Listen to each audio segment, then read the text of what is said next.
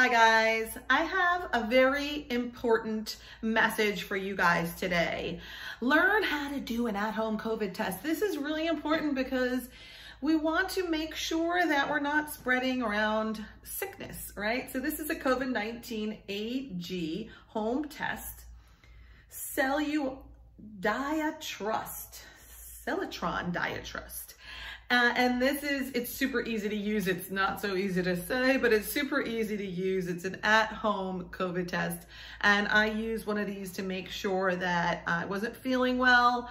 I didn't think I had COVID, but I didn't. And I just felt better uh, knowing that I was able to tell the people that I was around that no, I'm not spreading germs around. I'm okay, just under the weather. Sometimes we're just under the weather, but sometimes you actually do have COVID, so you want to know. So it's great to do these little at-home kits uh, to just be sure before you go out. I mean, what it does, it takes like 15 minutes. It's so easy to use.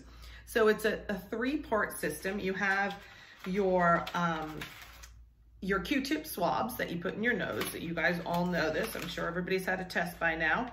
And then you have your um, little um, saline solution that you put the tip of the um, Q-tip into.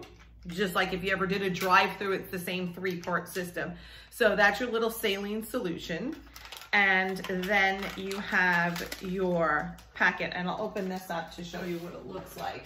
So after you put your Q-tip into the saline solution, um, shake it around, shake it up. You don't need a lot. Um, you're gonna drop it in right there. And then you will get a reader on there and it'll tell you, kind of like a pregnancy test, right? It'll tell you yay or nay, and then you'll feel a lot more safer when you go out of your house. It's your COVID-19 at-home kit and uh, definitely keep one handy. Thanks for watching.